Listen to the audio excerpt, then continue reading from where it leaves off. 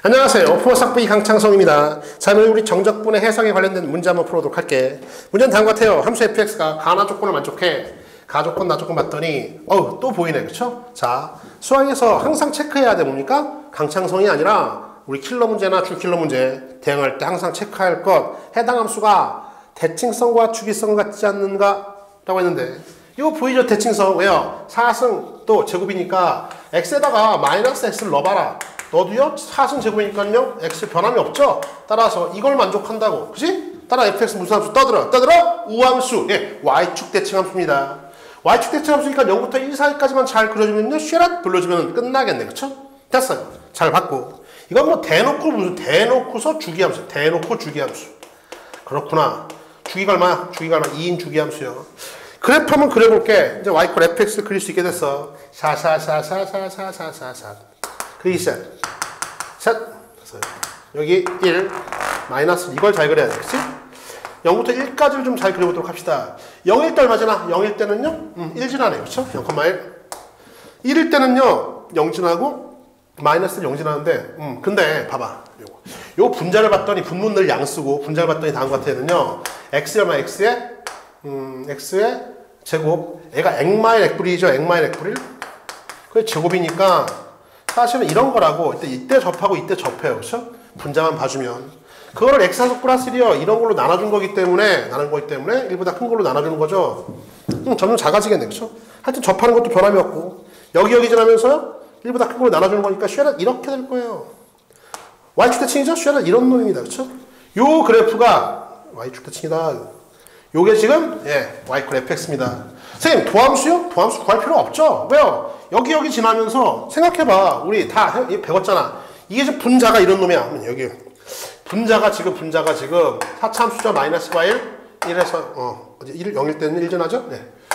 이런 놈이에요. 4참수 이런 놈인데 요거를 지금 분모요. x하수 플러스 1이요. 분모는 지금 이런 놈이에요.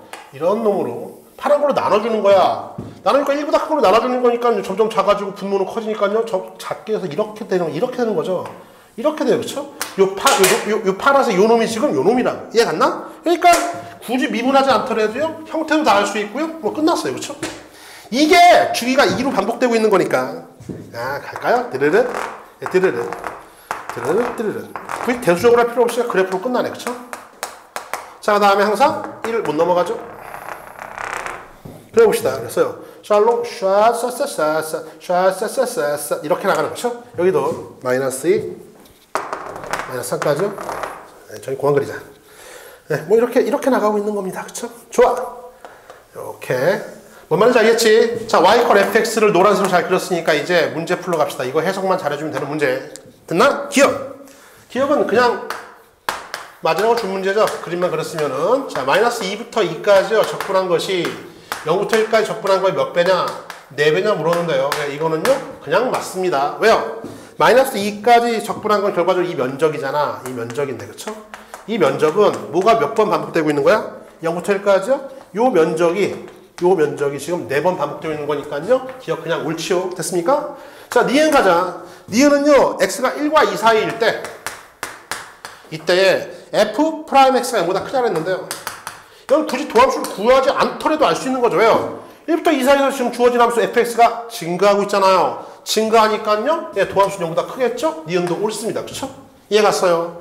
이거를 선생님 아까 얘기했지만 분모가 지금 x하수 플러스 1 분자가 4차 함수 해서 이 개형만 잘 알고 있다면요. 여기에 극대극소가 또 생길 일은 없어. 그러니까 이 형태가 반복되고 있는 거니까요. 해당 권에서 증가하고 있네요. 그냥 맞는 거지 뭐. 그치? 도함수 구할 필요 없지? 디귿입니다.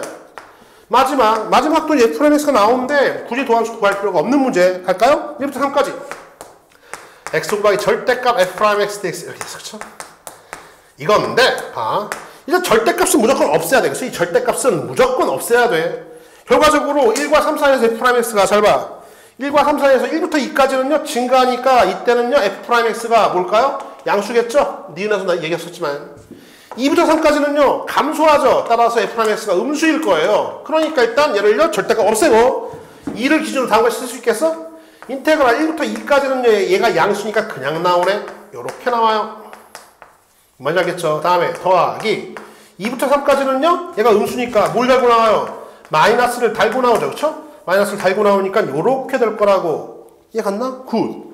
그 다음에 이제 뭡니까? F'X도 구해서 또 곱하고 적분하는 게 아니라 이종격 투기 무슨 적분이요? 분적분 시도한다. 그쵸? 요런 부분만 적분해봐. 얼마니까 fx. 요거는요, 미분해 주세요. 얼마니까 1이에요. 그쵸? 1. 그래서 써주면은 다음 같아요는요. 자, 그대로 x, fx요. 1부터 2까지. 잘 써라. 마이너스 인테그랄 크로스 fx dx입니다. 그쵸? 1부터 2까지. 요 놈이 앞에 것. 마이너스 뒤에 것. 이거 시도하는 똑같죠? 얘도 fx요. 그 다음에 1이니까 그대로. 그대로 x, fx요. 범위는 이제 2부터 3까지. 마이너스 인테그랄 크로스 fx dx요. 2부터 3까지 이렇게 끝나는 거야. 됐습니까? 그런데 봐. 1부터 2까지 fx dx의 노란색 부분이요. 얘가 뭘 말하냐면은 이 면적을 말해요. 그렇구나. 다음에 이리 와봐. 2부터 3까지 fx dx 이거 이게 뭘 말하냐면요. 이 면적을 말해요. 얘랑 얘랑 대칭 같잖아요. 넓이 같으니까 이 값과 이 값이 같은데 마마는 플러스로 바뀌니까요. 안녕 안녕 이렇게 지워져 버려. 땡큐. 남은 산수 이제 나머지 따라서 결론. 2 집어넣어봐. 2배의 F2요. 우리가 찾은 정답이다. 마이너스 1 집어넣어봐. 1 곱하기 F1, F1이죠. 이거 하고요. 마이너스 하기를 문 열고 다음에 3 집어넣어 3 곱하기 F3요. 다음에 마이너스 2 집어넣어 2 곱하기 F2요. 이게 우리가 찾는 정답인데 봐. F2 값을 하면 F2 값은요. 예, 1입니다. 1. F2 값 1이니까 2예요. 2.